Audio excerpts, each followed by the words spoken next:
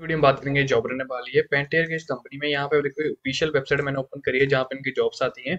India के मैंने country पहले ही सिलेक्ट कर लिया तो इंडिया में ट्वेंटी थ्री जॉब्स रहने वाली है टोटल गैस रिसेंट जॉब्स आई हैं, मैं आपको दिखा देता हूँ। पहले गई एसोसिएट इंजीनियर की।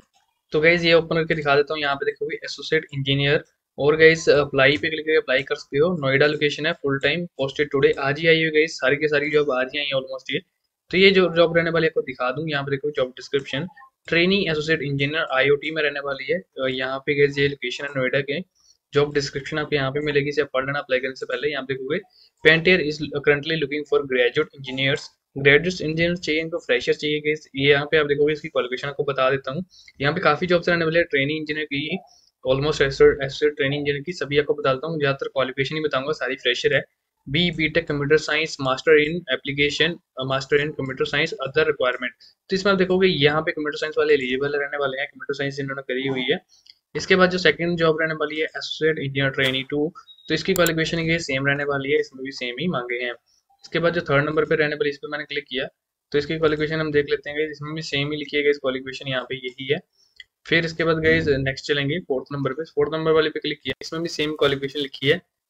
यहाँ पे हम नेक्स्ट देखेंगे तो यहाँ पे देखोगे एसोसिएट ट्रेनिंग इंजीनियर की ये भी जॉब रहने वाली है। इसकी जो क्वालिफिकेशन है, इसमें मैकेनिकल मांगे हुए यहाँ पे यहाँ पे देख so bachelor degree in mechanical engineering उसके बाद सेकंड देखेंगे कि इस नेक्स्ट तो इसमें भी सेम ही क्वालिफिकेशन मांगी है। फिर इसके बाद आगे वाले चेक करते हैं।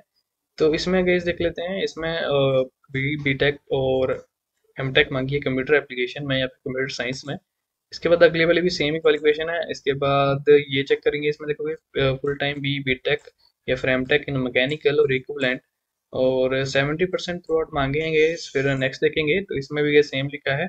इसके आगे वाली में देख लेते हैं इसमें क्या मांगा है इन्होंने। तो ये भी फुल टाइम रहने वाली है, ये भी आज आई हुई है इसमें गए कंप्यूटर साइंस वाले चाहिए। और इसके बाद और भी हैं यहाँ पे काफ़ी ट्रेनिंग की जॉब्स गए सारी की सारी आज ही आई है, नोएडा लोकेशन रहने वाली है। इसकी भी गए सेम ही कंप्यूटर साइंस मांगे हैं। फिर इसके बाद और भी हैं यहाँ पे कुछ जॉब्स वो भी देख लेते हैं। इसके बाद गई मैकेनिकल के लिए फिर से आ चुकी है जो फिर इसके बाद सेकंड लास्ट जो ट्रेनिंग की जॉब रहने वाली है, ये है गई पोस्ट ग्रेजुएशन एनालिटिकल केमिस्ट्री और केमिस्ट्री उसके बाद बीटेक भी मांगी है chemical material engineering environmental engineering और नैनो टेक्नोलॉजी ये यहाँ पे ब्रांचेस एलिजिबल रहने वाली है.